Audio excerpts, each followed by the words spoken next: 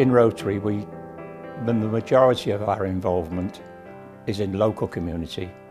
We have also got an international branch, but I've got a certain passion for our local community.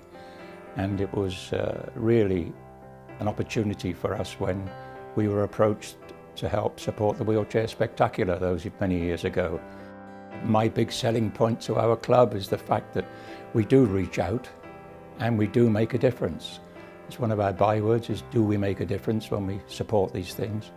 And I was lucky enough to be in at the ground floor and the first year that we came along and then we've noticed over the years that the numbers have improved and the numbers of sports that the, that the, the people can uh, come along and try, they've, they've increased.